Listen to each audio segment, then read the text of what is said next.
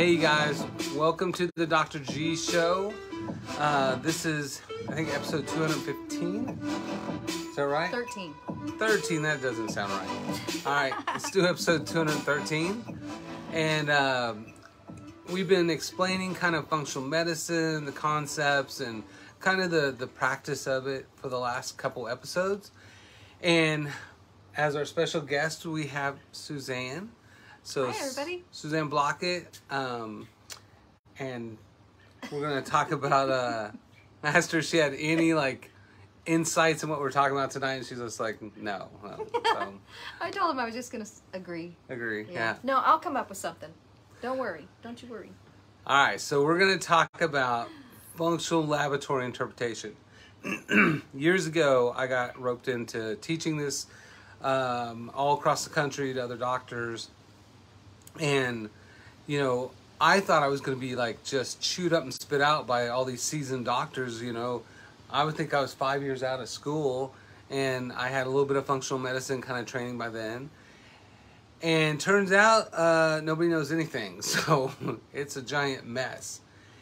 And to compound that, like um, research came out years ago from the New England Journal of Medicine, from uh, the Washington School of Medicine, and they published a study that said that 52% of all diagnosis and treatment in the United States is incorrect, which is insane because that means that, like a lot of diagnoses, a lot of treatments that are based off those misdiagnoses are making people broke and causing uh, nutrient depletions and side effects. And was it real? Right? Well, I've heard a lot of people. I'll jump in here.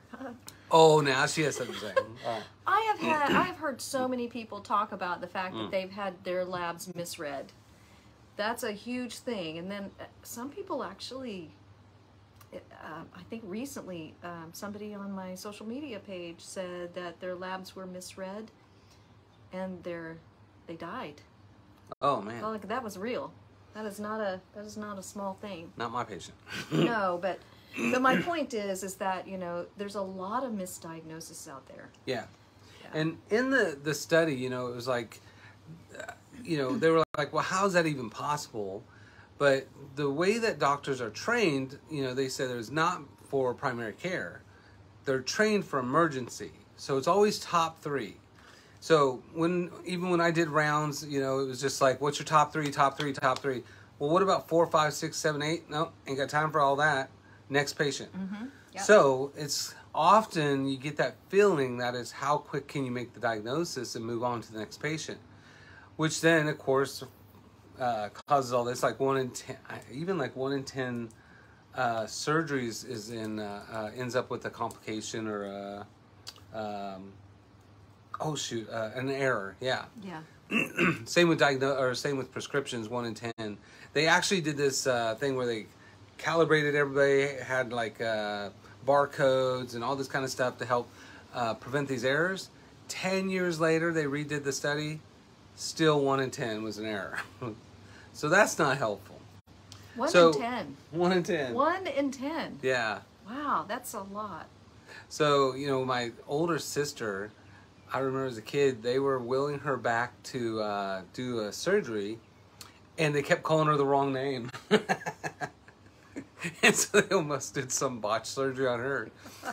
Um, let alone, I had a patient that they, uh, the ENT poked through their brain, through the nose, and they leaked cerebral spinal fluid for almost, I think, a year before they figured it out. So, How- talk about botching. Gosh, did she not have any symptoms at all? Just lots of fluid all the time coming out. time? Yeah.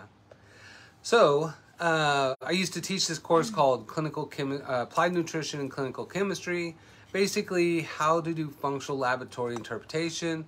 And I was super amazed by how little uh, practitioners knew. And a lot of it comes down to is it just used for diagnosis and treatment?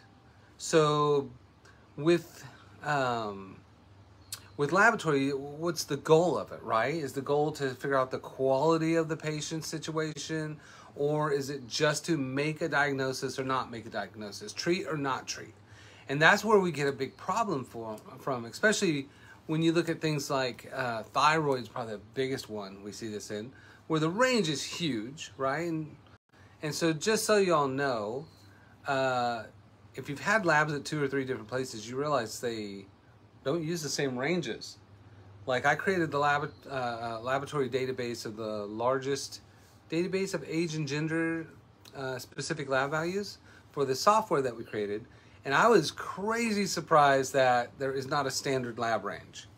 So you can go to three different places, get the exact same test, and have three different outcomes depending on how close it is to the, the range. So all they do is they say, well, in the sickest, fattest, dumbest population with most anxiety and depression, where three out of four people are chronically uh, treating chronic conditions, what's the ranges we see people in? And then that becomes the new adjustment for that range. It's not a healthy range. It's not even optimal range. It is just a reference range of what we tend to see. So would you would would you say that uh, based on an individual person, the ranges might be different? Oh or yeah. So yeah. when I created that database, yeah. li- the, the there's a gender genderification of uh, a, uh, of lab values. Male and females don't have the same values, and then by age, there's lots of disparity within um, those lab ranges. But a lot of labs just go zero to a hundred years old, and uh, male, female doesn't matter. It's all the same. So our software actually uh, would take those uh, lab values in there and then actually extrapolate those based on uh, their age and gender. But yeah, like e- even e- EGFR, which is a kidney one we'll talk about in a minute, um, it's supposed to be by even race and gender. But not everybody does that. But they only do it because we tend to see changes in the race.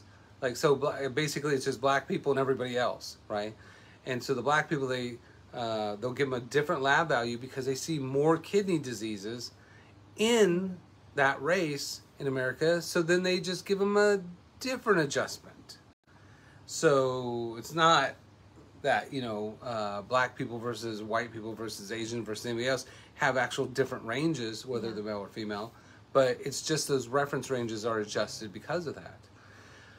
And the whole goal is really just diagnosing. So if you look at something like thyroid, thyroid range is like this big, right? It's huge. It's, it used to be 0.4 to like 6.5 or something like that.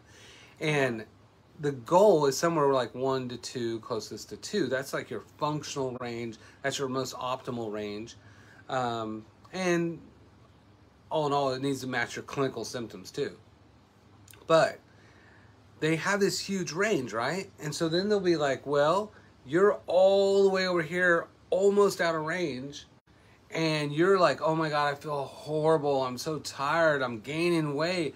You know, like my brain's just not working. All the thyroid symptoms you would have for hypothyroid, but they're like, eh, you're still within that huge range. So you're fine.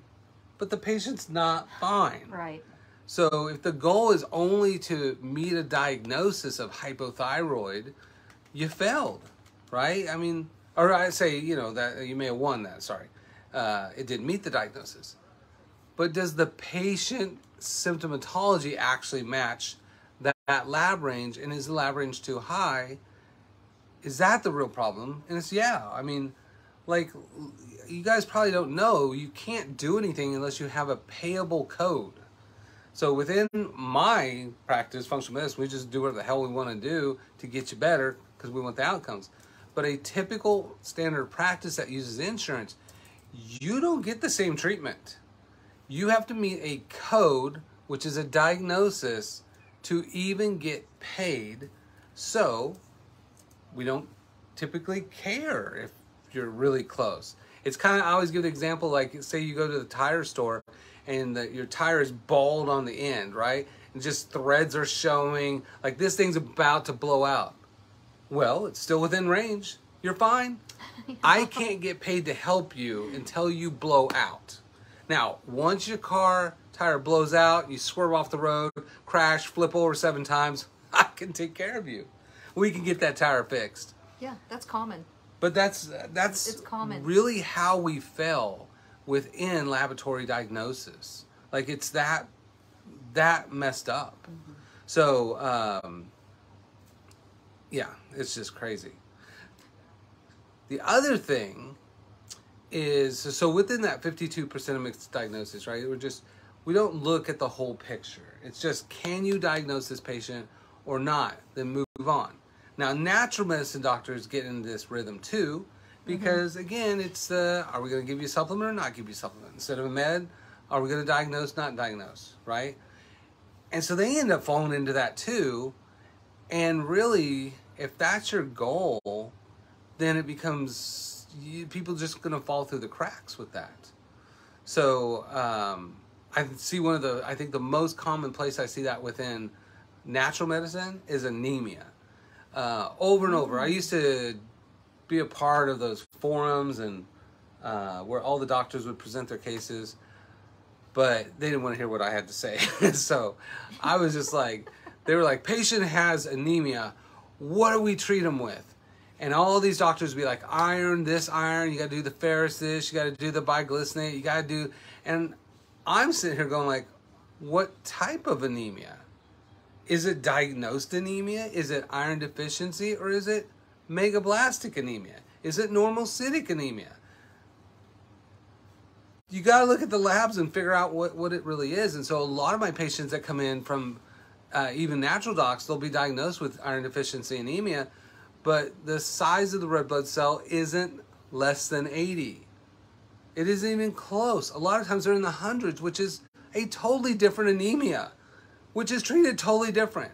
So they end up getting these iron supplements for a diagnosis of anemia, but no one ever decided to look at the MCV value and say what size of the red cells are they, and does it actually meet the diagnosis for iron deficiency anemia, let alone do an iron study and see what the hell's going on, right? So this is so, so common. And I love when patients bring their labs in. Like, I literally will go through, and it's always upside down and backwards here, but I'll, um, like, here's your blood sugar or stress. You know, here's your kidney test. Here's your liver test. Here's your electrolytes. Here's your protein metabolism. Here's your immune cells. Here's what each immune cell does. And then really helping them understand what all that means. Right. I, I was going to say, how many people, if you could write in the comments, how many people have actually got taken home labs, or you now it's all kind of digital. You can find all your lab work, um, and really you're just getting like, is it in range or no? You know that it just yeah. gives you a little graph or whatever for each thing, and you're not really even for sure what all those each things are. But how many of you have actually taken home or read your, your labs and really can't understand it? Yeah. Um, just put in the comments. Um, because I honestly, I mean, I I've worked in healthcare for a long time, um, and I'll, I'll look at mine and I'll be like, I I don't know, I don't yeah. know what that one is, and and is that good or bad, or is that really good or bad based on who I am as a person, on my diet, my health, lifestyle, everything. Well, there is a little bit of that conspiracy notation that doctors speak a different language, right. and so we don't, uh, not we, they often don't want you to know. So that's why we call stuff like megablastic cell or um, instead of or uh, a macrophage instead of big eater cell. Like I know you were throwing out the, that lingo, and I, I've taken medical terminology, but I didn't know what you were saying. Yeah. So I'm glad you can explain it. So we make it a little bit more complicated, kind of like lawyers are, right? So that way you can't just do what they do because you have to understand all the lingo. Yeah. So if patients don't have that control over their labs and their own interpretations, then often that puts them at the disadvantage and they don't know what's right and wrong with this, you know? Yeah. So um, if you guys have felt that way, let me know, you know? The other big thing I would say within uh, laboratory interpretation or functional laboratory interpretation is the kind of like zebras versus horses. So within my field, like functional medicine, clinical nutrition, um, we love this idea of these zebras, right? I mean, if you in hear ho- like ho- hooves, right? Hear hooves, hooves, hooves, hooves, hooves. yeah. in America, you would assume horses. but horses are boring. Show me zebras. I want it to be zebras. So you end up, and I can almost tell you, depending on what practitioner they come from, what diagnosis every single one comes in with. It is always the same diagnoses, but it's different from different practitioners because it's whatever their hyper focus is about, right? But it is rarely zebras. And I tell you, I had this patient one time. This guy was like maybe 65. Yeah. He was dating a naturopath. He had done $15,000 worth of labs, right? 15,000. And I'm sure he got a discount on those because of her. or else she's scandalous, all upcharging her boyfriend. But he's never felt better. So it's one thing to say, well, I do these kind of exotic tests and then I get, you know, patients better. But he wasn't getting better. And so I looked through all his files. He had a huge stack of all these labs, the most zebra kind of labs you can get, all the just, you know, most specialized labs, most expensive things you can do. No one ever did a CBC, a basic $10 test to say what's going on with your body. So a CBC, CMP, your, your ba- most basic, basic, basic lab. And so we did one on him because that was the only thing really missing from his file. And turns out he was uh, critically in uh, kidney failure. Oh. And gosh. so his numbers were off the chart.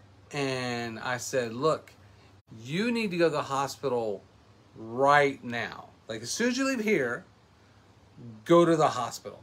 And he's like, well, you know, he said, I have an appointment with my doctor on Thursday. No, go to the hospital right now.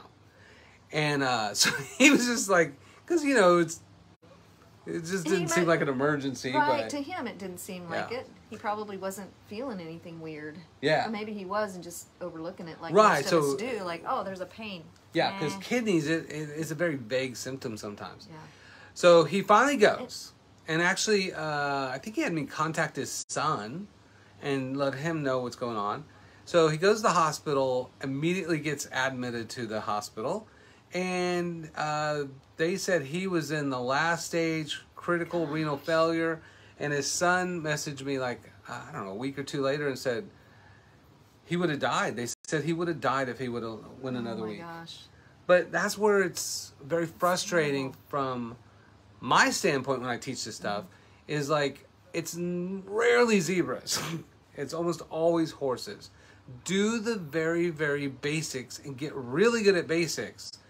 And you know, even though I taught like organic acids and all these other tests, they're all kind of vague kind of tests. And I haven't really needed them. So I'm always like, look, we'll do hormone testing if things don't work. Yeah. We'll do comprehensive testing if things don't work. But if you can do the very basics, save them a bunch of money, and get the results and the outcome you want, great. Yeah. If something's not working, then start looking for the next level or the next phase or eventually the zebras. But rarely is it expensive, unique, Yeah. comprehensive labs. Well, there's a couple questions, or there's at least one question. Joanne asks, and I've got a lot of theories on this. Hmm. We don't, we could talk another show on this actually, but why don't doctors want us to know?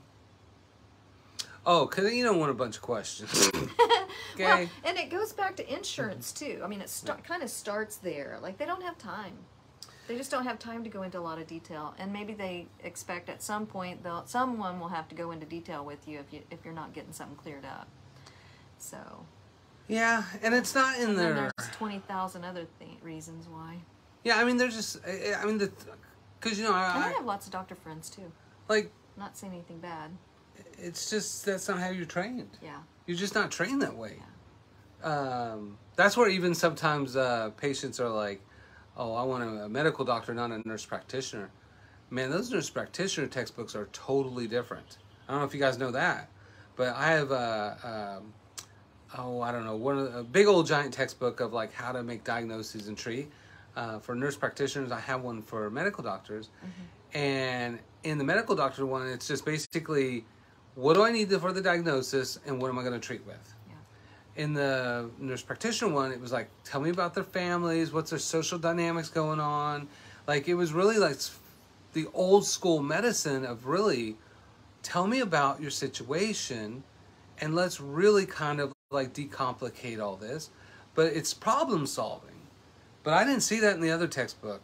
I was very surprised that there was such a, a huge uh, difference between the two. But rarely in any of my textbooks is it like, let's figure out what's really going on. it's just not. So it's it's how fast can, you know the average. You guys know the average amount of time a doctor will uh, interrupt you is 18 seconds. Uh, within two minutes, they have a tentative diagnosis. Within five minutes, you usually have a prescription. You're out the door, right? And so, research shows or, or stats show that 97% of a accurate diagnosis is through a good history and physical, and you can't do that in five minutes. No. And so the whole you don't have time to explain anything in that time. You just don't. My I mean, you think about it. You've lived how many years of your life doing those things that you do? You know, all of our neuron pathways are all fixated. our brain's in charge. Yeah. Um, at some point, I mean, it ta- it does take time to go through those phases and figure out really what what your body's being told to do and what how it's responding and yeah. responding to eating and food and alcohol and all kinds of different things. So it I does mean- take time. How how many weeks do you think in general? What? on a general basis when someone comes to see you it's a it's a process of how many weeks So Or probably about ninety five percent of people are better within six to eight weeks. It doesn't feel, take a whole feel lot. better Yeah. feel better But like it takes an hour I mean I like I visit with people an hour uh, every visit. And so like I I when I was back when I was married, my ex was mad and was just like, You gotta cut those visits down. You can't spend so much time with people. And I was like so I tried to do half an hours. I can't explain anything comprehensive enough for half an hour, you know. I want them to understand exactly why they have what they have, Yeah. the, the, the, the physiology behind it, the mechanism behind it, and how we're going to fix it. And it just takes time. takes time. So, you know, the old, old school doctors, which two generations ago were all natural medicine doctors, but even a couple generations, you know, it's, they used to spend time. i mean anymore it's not uh, it's not a cut finger Yeah. it's complex the Yeah. things that we're doing these days Yeah, my neighbor who's a nurse practitioner, she said, because I asked her, like, my patients average about 30 to 60 things chronically falling apart. And I was like, how do you do that in five minutes? How are you seeing these patients that I see and you're only spending five minutes? And she goes, one thing. You get one thing and that's it. If you have other things, you're going to make another appointment. yep But, like, that's right how are you ever going to get better? How are you ever going to solve this person's complex health crisis, right? So, uh, that's why we have so many uh, misdiagnoses in the United States yeah and so many errors within pharmaceuticals delivery and uh, surgery still, too, which is crazy. well and then people rely on that sometimes too because they do initially get some relief and i know that our system like will adjust to that and then we're going to need more of that to combat that so I Thought you weren't going to say anything during this episode. Uh, I know. Yeah. Where's my music? So, um, yeah, so I mean, that diagnosis goal versus quality of care is a totally different, totally different directions for you. Yeah. Like, do you really want to have understand what's going on with their thyroid, or do you want to just put them on a medication or supplement? Right. So, if your goal is reversing, that's a whole different world. So that's where, like, even like thyroid testing, the only number that actually matters is T3 free. That's the only bioactive one. It's 90% of all the thyroid produced. Um, and it's the test that nobody does. You know, like free or uh, reverse T3 is a backflow. T3 is like 99.64% of that's not used. It's already bound to thyroglobulin. So that number means nothing. T4, which is the medication, only 10% of the free T4 actually is beneficial. But then if you say, well, what affects it? Well, 90. What? I'm trying to keep up. Oh, I know. I see- get all. The T3 and the T4.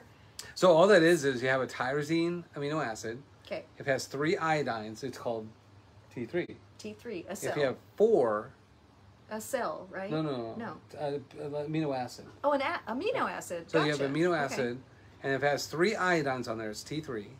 If there's four, it's called T4. Four. So, 90% of all thyroid in your body has only three iodines on it. What has four? No, the fourth, to make the fourth one active, it loses one. 90% of that T4 will lose an iodine to become T3. Yeah. So if somebody has 4 Mhm. what does that mimic? Like a, a, a fatigue? No, no, no. So, okay. All right. So your brain makes a hormone called TSH, thyroid stimulating hormone, and that brain hormone goes to your thyroid, and then tells your thyroid to make hormone. So if the thyroid stimulating hormone is overstimulating a really high number, it's yelling at your thyroid because it's not making enough. Hmm. If the brain is whispering to the thyroid, like, dude, you're making way too much, you need to chill the hell out, then that number will be very low. So we kind of like inversely proportionate. If, if this number's high, this number's probably low. If this one's low, this one's probably high, right? But that's not really true. Because why not test the actual thyroid and see what it's doing? Yeah. So the thyroid's simple. That gland, it makes uh, three basic hormones. Reverse T3, which is a backflow that does nothing. T4, which is the medication route. Uh, so Synthroid is T4. So the only reason we really give a shit about T4 is because they want to see are you getting enough medication? But is that medication converting into the active form? We don't know. So why the hell are we wasting our time testing something we don't know? So with Good that point. T4, 10% of that T4 becomes free T4 and runs the body. But that's only 10%. percent mm-hmm. 90% of that T4 loses the iodine and becomes T3. So then they might test T3, but T3, 99.64% of T3 is bound to this thyroglobulin, this protein, and it's useless. 99.64% of all the thyroid made is useless, does nothing. But 0.4% of that T3 is the bioactive one that runs every single cell in your entire body. So when you talk about thyroid hormone, you're really talking about the bioactive one, T3 free, which is 0.4% of the whole entire production. Runs everything. Sexual maturation, hormones, mood, growth, everything Sleep. sleep, basal metabolic rate. So when you look at that, the range is 2.2 to 4.2, How many is that? and we like to see it 3 and above. And 3 and above, people are functioning really well. But they could have a normal T3 free and uh, not function very well, right? So, in the end, the question is why are they not producing enough to feel good? But the thing that blocks T4 from converting to T3 is chronic stress. So, in the end, thyroid problems aren't thyroid problems. Thyroid problems are cortisol problems. Cortisol problems are uh, you live in the country with the most anxiety and depression, uh, and we're the best at like exhausting that. So we have to teach people to stop exhausting that, which is the resiliency and our plasticity and education, all that stuff. So, if someone gets a thyroid test, a TSH is just are we going to diagnose and treat with a medication, or are we actually going to figure out what the hell's going on with the thyroid? So, that's where even natural medicine doctors get hung up with that, and they do all these different ones. I mean, you might want to do like a thyroglobulin antibodies or uh, a thyroperoxidase antibodies because those are the two most common for autoimmune thyroid, mm-hmm. like a Hashimoto's or uh, a, a Graves. But most people just have low performing thyroid because they have exhausting lifestyles. So then you go see someone like Andy Jameson, get their head straight, and stop exhausting themselves. Hey, Andy, if you're watching. So Oh, hi. He's watching. Oh. Hi, Andy. You saw that. I didn't. It's hmm. too far away. So like just thyroid by itself, there's, uh, I mean, that's one of the biggest areas I think we ever see uh, errors all day, every day. Another one we talked about anemia. So just you know, you might find this interesting. If you want to know if you have anemia, you do a CBC, complete blood count. But on the CBC, your red blood cells are usually like three to five, and you want them to be around four. So that's your bone, the red marrow, the juicy stuff. Uh, that's making your red blood cells. And they start out really big, called megakaryocytes, and then they mature down to the right size. So, uh, when we look at like red blood cells, that is not anemia.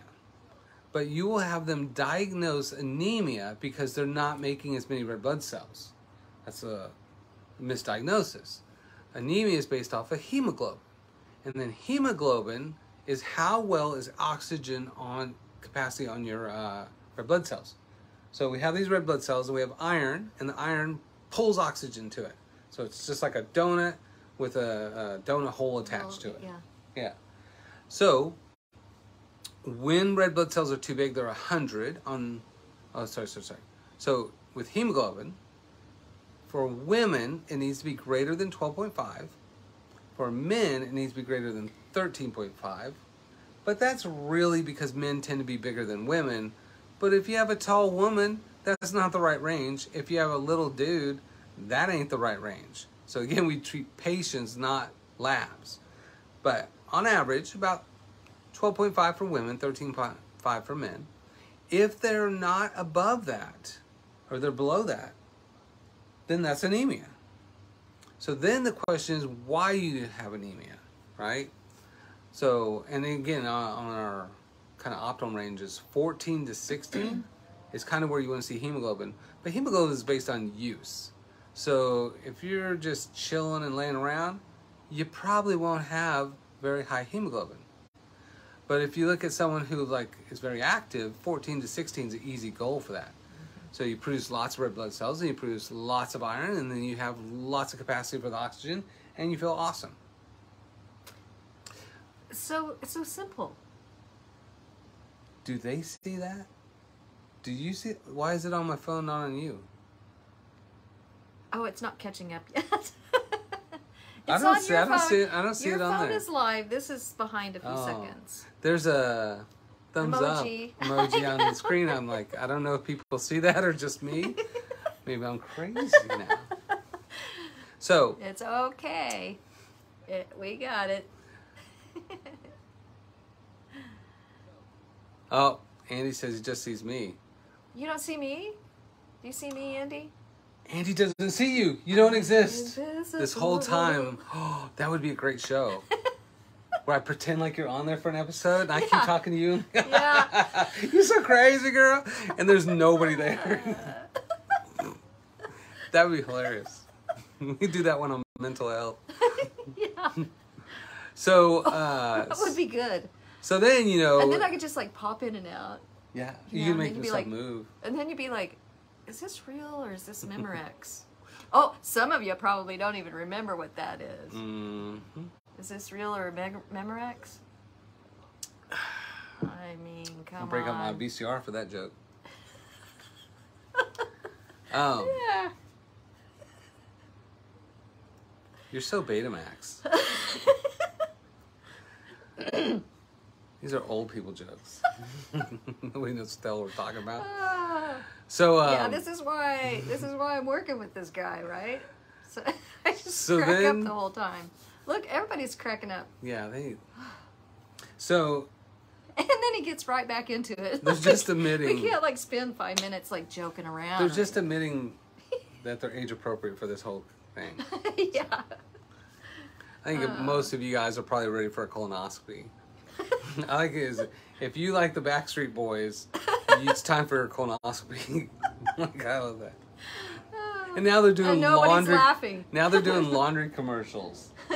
Yeah. Like they used to be these sexy, sexy men. All the women just wanted them. But that's Bounty. And now they're doing laundry commercials. that's the Bounty commercials. Bounty?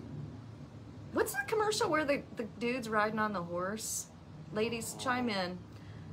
There, yeah, he was Sounds like, like, somebody has "Oh, a very it's specific commercial they like. It's underarm deodorant, I think. no, I don't know what you're talking about.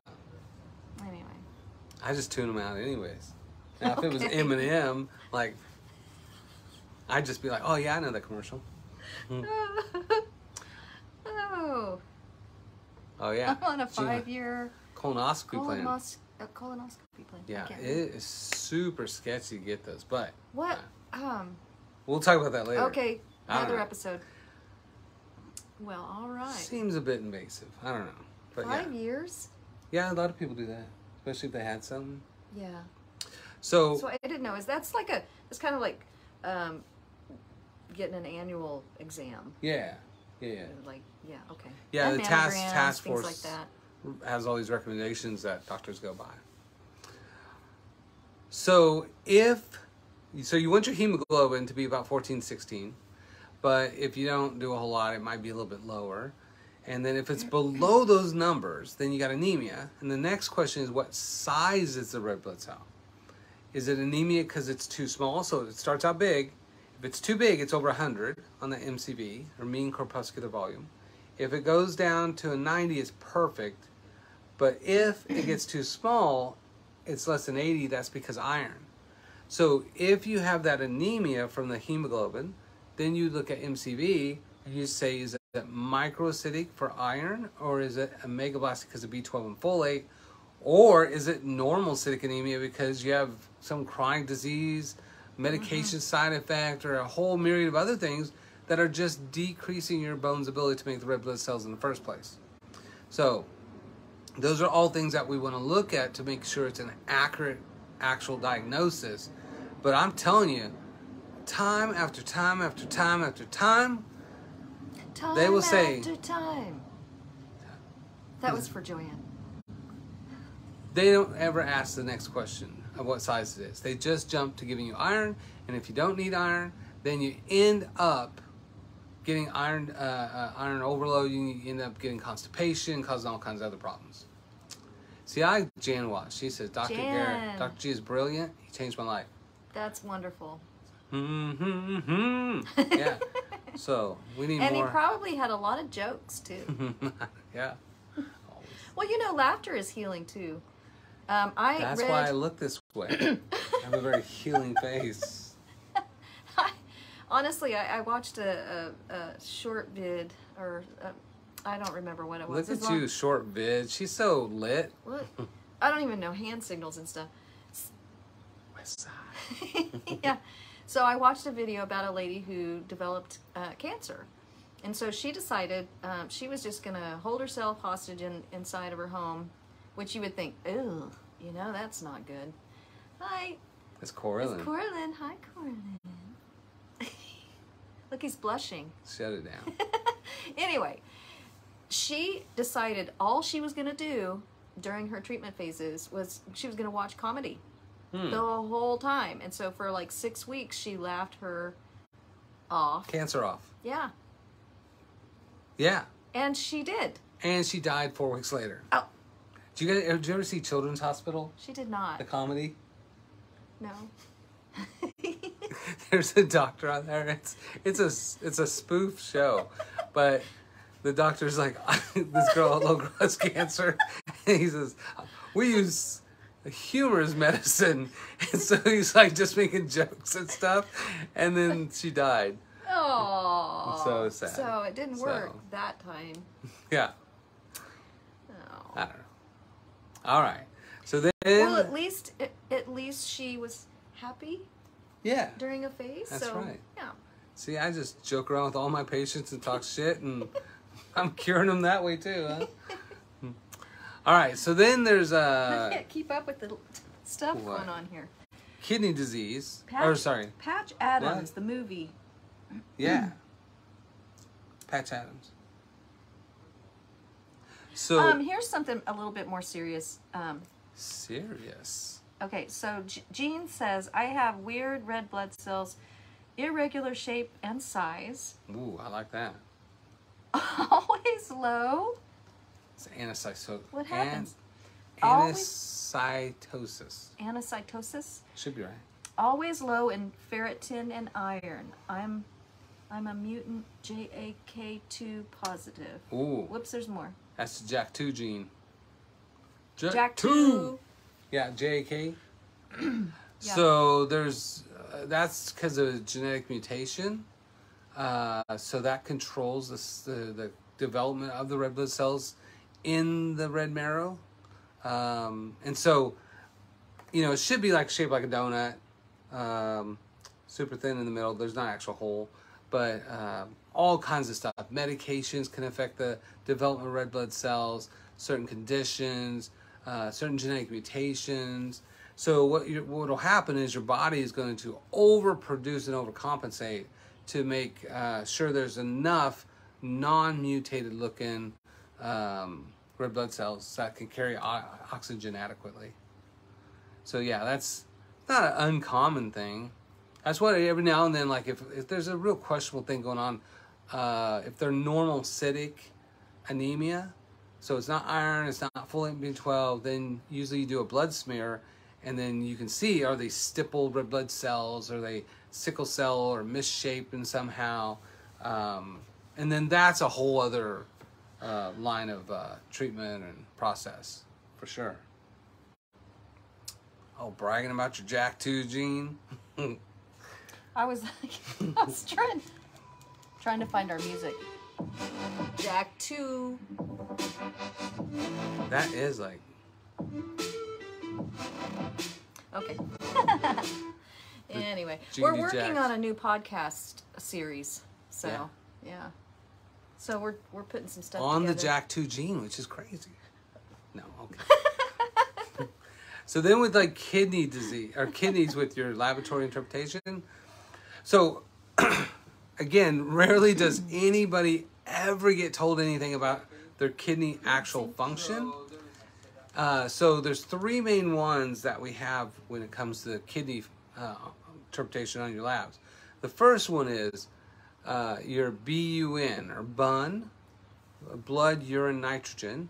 And so whether you eat a bunch of plants for protein or animals for protein, you will then make ammonia and toxic chemicals like urea, and then you overconsume water and you pee those things out. So this test, the BUN, which is the standard one on your labs, will tell you how well you're doing at getting rid of the ammonia and urea or the toxic metabolic me- metabolic waste uh, products there. Well, and you can really tell when there's ammonia when you're. Our next episode is going to be on interrupting. no, I'm kidding. so wait, what? Say it again. Well, you can tell when there's ammonia in your urine. Oh yeah, yeah. Oh, it's strong. Yeah. I mean, I've had some some serious issues in my past. Really? Yeah, I have both of my ureters have been corrected or replaced. I can't remember which one. Because so of kidney I stones died. or something? I died when I was little. What? Yeah. Because I they couldn't Are you here now? see. He's not sure. Do you all He's see her? sure. Do you all see her? But I did like I they packed me on ice and they couldn't they didn't know how um, they were gonna fix anything. They just went and wheeled me right into surgery and What? yeah, and it was my ureters. They were blocked. They were bent, Yeah. and so I would just constantly be in you know fever phase, and they couldn't figure anything out, and so they just opened me wide open and said, "Hey, look." Yeah, I don't. What? Yeah. Oh my gosh. So you're a So miracle. yeah, Yeah. times three. I Times have six three? more lives to live. My goodness. And I'm the one that I thought survives everything. yeah, yeah. You do have. Yeah. You have what? Four lives left. Mm, I don't know. You have four. All I got left is gray hair and this dogged sense of humor. And you know those those little U-shaped things inside your kidneys too. Those are Oh, the loops of Henle. the loops of Henle. Yeah, yeah, yeah. Oompa loompas. Oompa loops of Henles. So, with uh, I can't believe that. That's crazy. But all right. So What? they that's, they packed you on ice. Did they put you in the freezer for like a couple weeks and then like read through some books and like ah, crooked ureters. Yeah, and then they thawed you back out. No. All right. No. I want to hear more about this story, Oh. but We- I need a martini for it. Yeah, we should do that one time. Just have a show where we're just talking about stuff instead of like being so. Hmm. Anyway, Everybody seems to like it. So Anyway, I'm here. okay, so having a good BUN. time. B-U-N. So with the Bun. BUN or your bun, um, so that number they'll let go up to twenty, and I want to say that dude that almost died, he he was probably like thirty or forty. Like it was something I've never seen before ever. But usually people they get up to twenty, they twenty five, they don't start feeling they start to feel kind of bad. But I like to see that below fifteen. So fifteen below, you can go all the way up to nineteen. But really, that shows you're drinking plenty of water and you're peeing out all the toxic metabolites. The next one's more of a short-term indicator of the same thing as the creatinine. And creatinine, uh, I like to see about 0.75, but they'll let you go to one, sometimes 1.2, but that's a little on the higher side there. And So we like to see that closer to that 0.75. and and you'll see that on your lab results every time. Yeah. Almost every time. Yeah, almost every lab Yeah. includes this. Yeah. But then the really important lab that they do for kidneys is uh, the most complicated one to ever say, and that's the EGFR. So the estimated glomerular filtration rate, which your kidney is 18 million little filters, and this tells how well they filter through that little Oompa loompa. of Henle. Oompa loompa loompa of Henle. Hen- It's Lupa Henle. Loop, But Henle. Dr. Henle figured this out. But it's kind of crazy because you have all this. I mean, this teeny tiny, tiny, tiny, tiny, tiny little loop is where electrolytes are pulled in and out, and then whatever's left becomes urine, right? So it's making all these micro calculations in these teeny fragments of, of, of- length in your kidneys. And so this EGFR, it tells you how well it's working. But again, like our ranges are not real, they're not the therapeutic ranges. So a lot of labs will just say greater than 60. And that is the most messed up range I've ever seen because 60 to 90 is considered low function normal. Like it is so messed up that people are, are so messed, uh, they have such poor kidney function in the United States. Uh, like they have dialysis machine centers everywhere now, right? That literally 60 to 90 is stage one kidney disease. But we don't care because everybody's kind of in there anyways. So is that first stage, we'll consider that normal. That's normal. But 90 to 120 is considered your goal. 90 to 120 is the actual normal value, right? But mm-hmm. because so many people have kidney problems, they lowered that number and they consider that first phase. So if you get like a, a 60, something that's a lab that just says greater than 60, is that 60 or 61 or 91 or 120? How well are my kidneys doing? And so literally, it's like I'm not going to tell you how much gas is in your car. It's greater than empty. Good luck.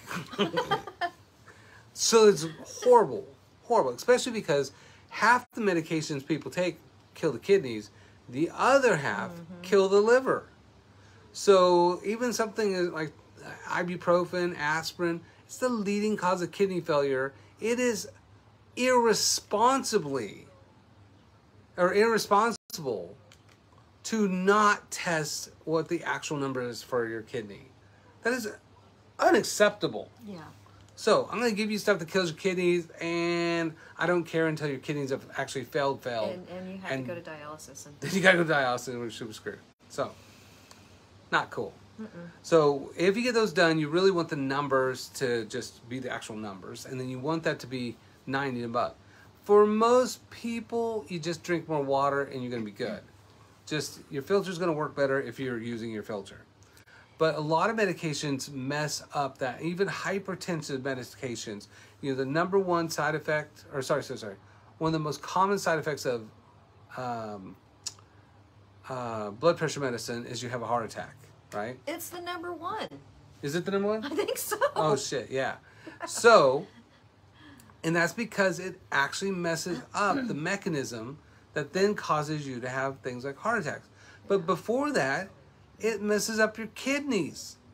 And so then if you can't get your kidneys to work, then the fluid builds up, then you get congestive heart failure. And now you have to deal with that mess because you're taking a medication to prevent heart disease that now is causing heart disease because it messed up your kidneys. So that number is really important. Cycle.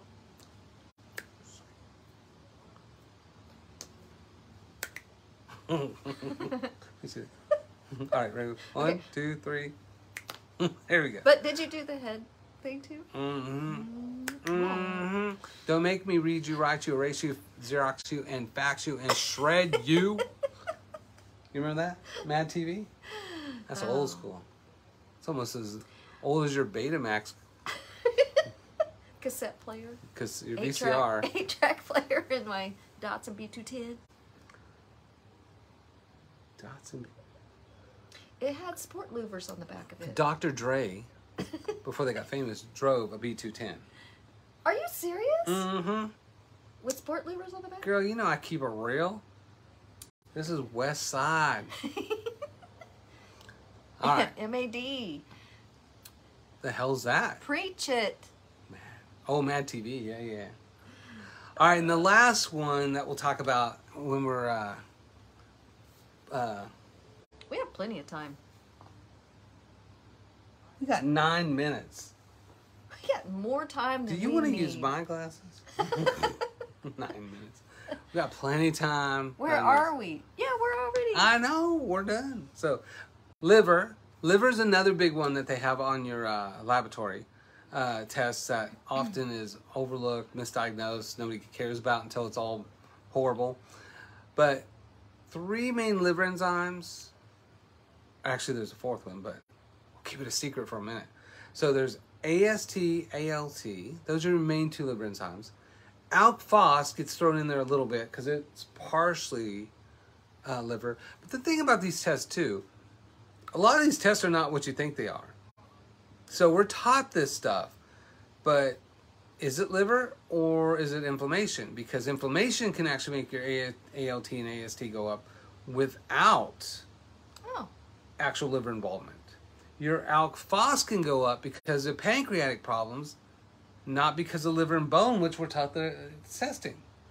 So, if you ever worried about AST, ALT, you do a GGT, which why don't we do it in the first place? Because again, half medications kill your liver. Things like statins are notorious for Oh. messing up your liver. Really Uh, they should probably be doing GGTs all the time, but GGT is a, a liver test that's truly liver. The rest of them are could be liver. Let's do a GGT to figure out this, right? that's GGT. Yep. Because Can- you told me that today, and I was like, G- GBT, GGT. GGT sounds like a supplement. Try GGT for three months and see if you don't get your. What's that? that movie where that guy's commercial, his hand gets stuck in the commercial, and it just like keeps replaying.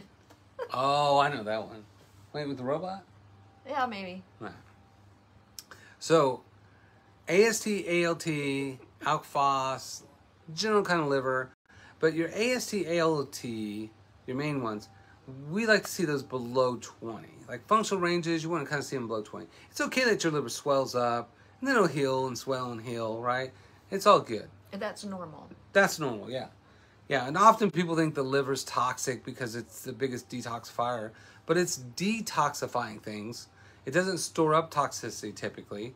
So even if you like Bear Grylls and you find a dead animal, you eat the liver and the eye juice. That's the last to actually go bad. Super nutrient dense. Eye juice. Did you did you really have to say eye juice though? I got my middle daughter to eat eyeballs with me. Oh, I. I like uh, red snapper eyeballs. Fried. But that ma- then the probably the whole not- fish Yeah. It's down in of my favorite Belize. Sean down in Belize, they fry the whole fish in most countries. He ate the head first Yeah. and ate the whole fish. Yeah. Like we ain't animals. well, we are. Yeah, but you. I do all kinds of those bones have. I know it's good for you. If you eat, if you eat the part of the animal that you want better, you want better eyes, eat the eyes. You want a better mm-hmm. liver, eat the liver. You want better joints, you eat their joints. Right? So what about carrots? What about carrots? How does that even factor in? Not ice. No, no, no, carrot, because you because the human body is created from the ingredients of food. So if we eat an mm-hmm. animal's body part, it has every nutrient we need for our body part, right? So, but if you eat food, it makes all your body parts als- also, right? So either way, Wow. eat food or eat the animal's face so you can have a prettier face. You think all this just happened? I've been eating chinchilla faces. That's why it looks like a chinchilla. Yeah. Oh, I might have right. to go in the other room. I can't stop laughing. So, with liver, it's very important. If they're 200 times that, uh, or that range, or 100 times that range, like 200, 400, Andy, that's where it starts getting concerning. I'm sorry. Cannibals, so he's talking about cannibals. Cannibals would not eat humans. They need to make a movie about healthy cannibals. And they're like, son, don't eat the Americans. You're going to get heart disease and cancer. There's we got to your eat the. Europeans. That's your answer. I'd be all like, look, as a functional medicine cannibal, I only eat European people, and it only in Switzerland. So it's a tax write off. Oh, and the wine from Switzerland's fantastic. Switzerland does not make wine. No, I'm just kidding. oh no! Somebody's Are you being serious? messing with my head. Swiss yeah. wine? I Yeah. never heard of Swiss wine. Yeah, they yeah. had them there. I you passed by all kinds of. find it. You- you- No, I literally hiked past the wine fields near Montreux on the way to France. You know what I'm saying? On the Lake Geneva. So it's not a big deal. it's not a big deal. So it's a little tiny field. But they were. It was a tiny one. Was it? Yeah. Well, I maybe they just made it for themselves. it. That, that could be. Maybe the Swiss don't share the wine. That's why we don't have a Swiss one in Jacob's liquor store. There's no Swiss category in there. Go to ABC. I'll get you some, or I'll drink it for you. I'll give you the bottle. I'm not going to white trash ABC liquor store. Do they really have it there? Hmm. Better not take the Mercedes; it'll get jacked. Oh, Am I gonna get stabbed going there? I just wanted some Swiss uh, wine. I didn't want to get stabbed in the parking lot. gee, did you? Did you? Do we taste like chicken? All right, so you want to know something? Well, I'm not even. A, We're off the rails on this. I suggested we get wine because we're actually doing this at Suzanne's place instead of the office. So we usually we drink wine over here um, because apparently all single women have boxed wine in their fr- in their fridges. But sometimes two, yeah, two different flavors. so I had to drink water. This is all dry humor off water, just so you know. But so Gene's like, Gosh, y'all, can you imagine if he did have a glass of wine? "Do you know what long pig is?" You guys don't want to know this. Okay, don't. Long pig is considered human because humans taste like pigs, right? Human meat, pig meat tastes the same. So if you Does eat, it really? that's what they say. I'm not trying to find out unless I go to Switzerland. But then that means oh that if you eat pig skin, literally, what world do we live in that we actually like skin pigs and fry it up and be like, I love pork rinds. I grew up eating pork rinds. You're like, you're just eating the skin from a pig? Like, that seems cruel. But pigs taste like humans, so if you eat pork rinds and you like pork rinds, We literally lost one one viewer. I don't want you on an island with me because you already got the taste for human. So, all right. Pork rinds. Oh, that's a whole nother one. What? All of these, this outbreak in pork rinds, they're healthy for you now, and there's all kinds of Oh, different it's at the health food store, flavors, yeah. and it's at the health food store. It's just fried pig skin. It is. How's that considered? Well, but it, it should be fried in olive oil. they should make pork rind Doritos. I don't know. Seems like like in the shape of a they Dorito. should make Maybe pork my rinds kids out would of- eat those instead of Doritos because they're. What about well, why in there chicken rinds and cow rinds? Why? I think we're missing out. I think out. there's vegan rinds too. Yeah, so Jan Watts, you should eat eyes. You definitely should eat eyes because all the macula, the macula is full of all these antioxidants and, and, and pigment colors. And when you eat that cow's eye, you would get all the things you need for your eyes. Well, you I'm know, telling you, it sounds disgusting, but people like Well, look at sardines. animals do it. I know sardines. And I, the, and and, and I eat in the the, Asian culture, There are so many different types of fish over there. I mean, I love going over there. I Yeah. miss going over there. Don't be all judgy Americans because you want to eat eyes. While you're munching on a pig's skin? Like, what the hell's wrong with us? Oh, So, woo! I asked, we went to an Asian place and I I just like asked Corlin, they had monkey brains on the on the menu. And uh, she said, uh, no sardines. she thought they were monkey brains. Oh. Like, but it's a fish place. But Oh. would you eat monkey brains if they had served monkey brains? Because at the at the Asian place, usually it's avocado with crab meat and then like sriracha. That's that's how I make monkey brains at home. But But it's Uh, just a it's just a dish called that. It's not yeah, literally. it's not really monkey brains. Ah. But I wouldn't eat it because then you get like mad monkey brain disease or something, like cow disease. Mm. Oh, Andy. won't- like, oh, Andy "Nah, won't eat. bro. What? He- what sardines or Oh yeah, I love sardines, but I ate some sardines and then this garlic, oysters? and then uh? Corlin was like, "You smell horrible, and you need to go brush your teeth." Yeah. So Well, so so like a lot of these foods that like are are oysters okay? no, oysters Why? are the filter of the grossest ass on the water. of the Yeah, yeah. dang it. We clean, we pollute the water.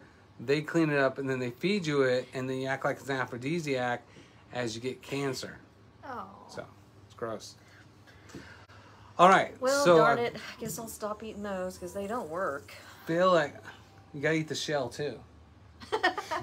I hate eating uh, oysters on a half shell because the shell gets stuck like in my throat, and then that's not attractive. No. What is the other thing? Not Clams. Clams are clams the same as They're oysters? just filters of the grossest waters we can find. So we should get fresh uh, or sea water. Eh, from another If- country, not like because from the Gulf of Mexico, that's the toilet bowl for every river in the United States. There's eight dead zones in the Gulf of Mexico. The last part of the Mississippi before it dumps into the Gulf to feed your shrimp and your oysters is called the Cancer Alley. People go to work. They get up. They set an alarm. They set an alarm to get up to go work in a place called the Cancer Alley.